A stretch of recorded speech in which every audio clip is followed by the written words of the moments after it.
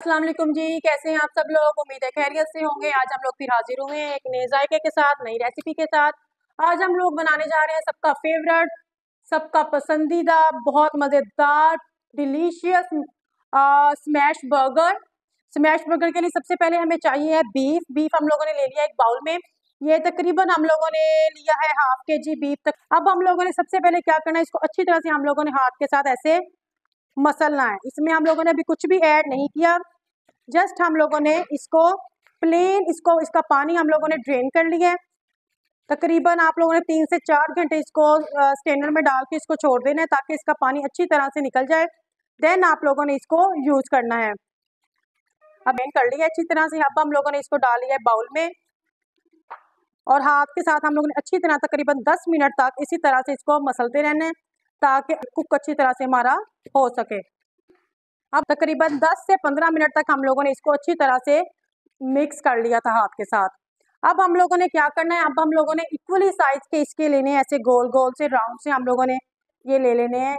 एक ही साइज़ के बना लेने हैं इसके जैसे जी हम लोगों ने एक इस तरह से लाइक कोफ्ता टाइप हम लोगों ने ये बना लेना है गोल शेप में।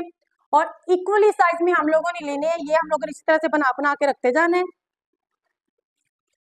इस तरह से हम लोगों ने इसको बना लेना है सारा। इसमें हम लोगों ने कुछ भी ऐड नहीं किया। जस्ट हम लोगों ने इसको अच्छी तरह से हाथ के साथ मैश कर लिया है। बिल्कुल इक्वल साइज़ में है, कोई छोटा नहीं है, कोई बड़ा नहीं है, ताकि जो हमारी पैटियाँ बनेंगी वो बिल्कुल इक्वल साइज़ में हो। ये हमारा हो गया है, बनके तैयार। हाँ बीफ जब हम लोगों ने पैन के ऊपर बीफ हम लोगों ने अपना रखना है, उसको कुक करने के लिए, उस वक्त जो हम लोगों ने सीजनिंग यूज़ करनी है, हम लोगों ने सीजनिंग वो कुछ इस तरह से है। सबसे पहले हम लोगों ने ले लिया है salt garlic powder ginger powder red chilli flakes white pepper black pepper meat tenderiser अब हम इन सब चीज़ों को कर लेते हैं मिक्स अच्छी तरह से हम लोगों ने इसको मिक्स करके, हम लोगों ने इसको कर लेना है साइड पे. और जब हम लोग उसको बीफ को कुक करते हैं तो उसके ऊपर हम लोगों ने इसकी सीजनिंग करते रहना है. नेक्स्ट हमें हम लोगों ने ऐड कर लेना हल्का सा ऑयल ये हम लोगों ने हल्का सा इसमें ऑयल ऐड कर लिया है। आप चाहे तो बटर भी ऐड कर सकती हैं।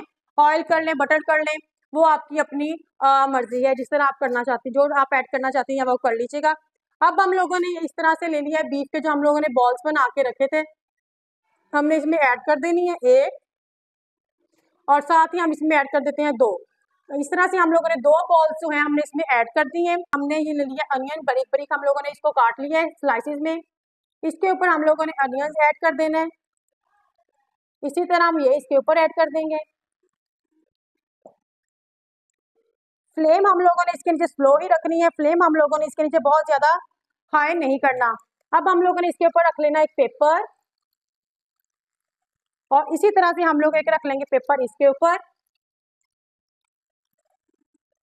अगर तो आपके पास इसको प्रेस करने वाला जो होता है गैजेट वो है। तो आप उसको अच्छी तरह से उसके साथ प्रेस कर दीजिएगा। अदरवाइज़ अगर आपके पास नहीं है तो आपने कोई भी चीज़ लाइक इस तरह लेके उसको अच्छी तरह से ऐसे आपने रख के इसको प्रेस कर देना है ताकि हमारी बिल्कुल अच्छी सी बर्गर पैटी की शेप आ जाए। ये आप देख सकते हैं। ये भी दोनों साइड से हम लोगों ने इसी को अच्छी तरह से रख के इसको प्रेस कर देना है। अच्छी तरह से हम लोगों ने प्रेस करना है ताकि बहुत ज़्यादा हमें थिक नहीं चाहिए। हमें थिन सी पैटी हम लोगों ने बनानी है ताकि अच्छी तरह से हमारी पैटी जो है वो कुक को अंदर से हमारी कच्ची ना रह जाए। इसी तरह से हम लोग इसको भी इधर से प्रेस कर लेते हैं। हम लोगों ने इसको अच्छी तरह से प्रेस कर लिया था, आप देख सकते हैं। ये हमारी बिल्कुल एक्यूरेट पैटी की शेप में आ चुके हैं। अब हम लोगों ने मजीद क्या करना है? अब हम लोगों ने जो इसकी सीजनिंग तैयार की थी, ये हम लोगों ने इसके ऊपर अच्छी तरह से ऐड कर देनी है। जब तक ये एक साइड से होता है, फिर हम दूसरी साइड से इसकी साइड चेंज करके उसके, उस पर भी हम लोग ऐसे सीजनिंग उसमें ऐड कर देते हैं। या हम लोग इसकी साइड चेंज करते हैं। और इस साइड पे भी हम लोग इसके ऐसे ही सीजनिंग ऐड कर देते हैं।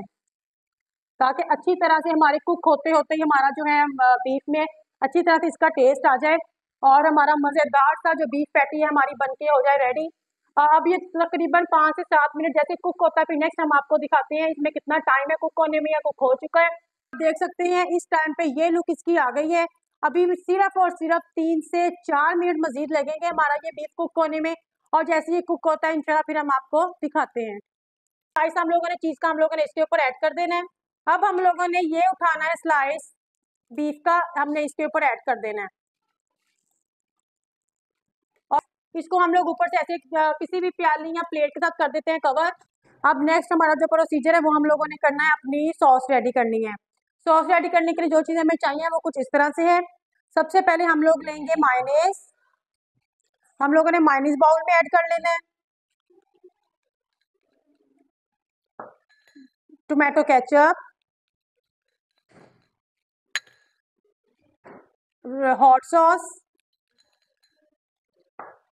oyster sauce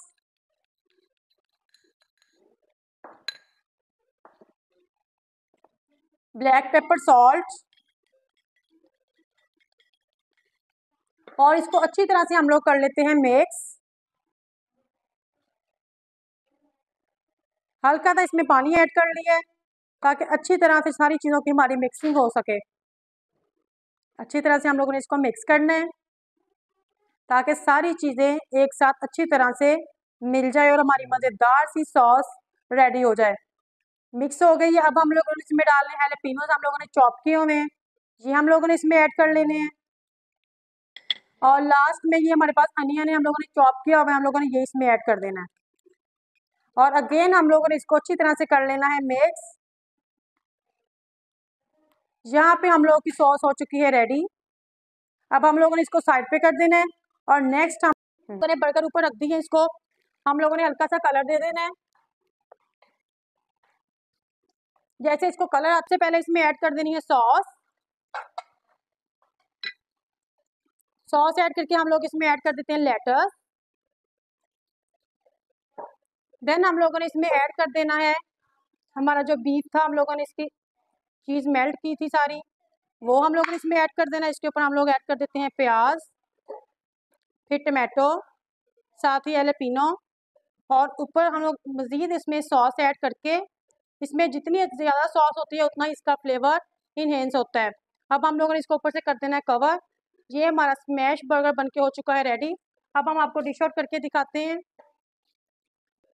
ये हमारा स्मैश बर्गर बन के हो चुका है तैयार। इतना मज़े का, इतना अच्छा ज़बरदस्त था, ये मैं आपको दिखाती हूँ, ये आप देख सकते हैं।